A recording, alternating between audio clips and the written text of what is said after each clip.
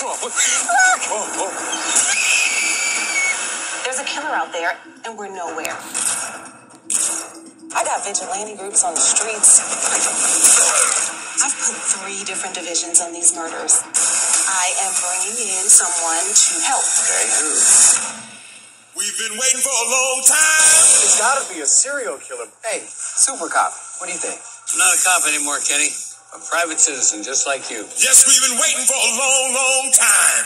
I wouldn't even pass the drug screen, man. I'm high most of the time. I'm not going to do it without you, partner. We've been waiting for a long time. I don't remember these bumps hurting my ass so much. Your ass is fine, Bubba. We'll go the one, two, three, four, one, two, three. The boys are back in town. The dream team back together, one last assignment. The Boys are back in town. Uh, Joe? I don't think we're in Kansas anymore. I don't think we're on Earth anymore. I'm going to need your help with the rest of SIU.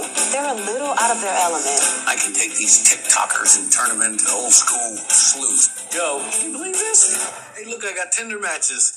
Oh my God. We gotta go old school. What that means is trust in your instincts.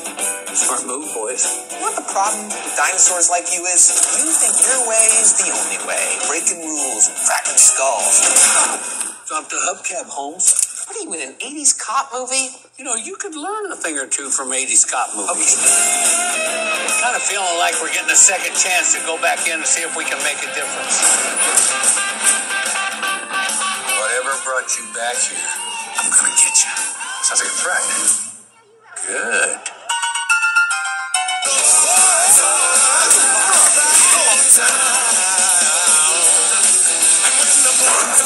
Hey, let me be the tough guy this time, okay? I want a name and I want a number.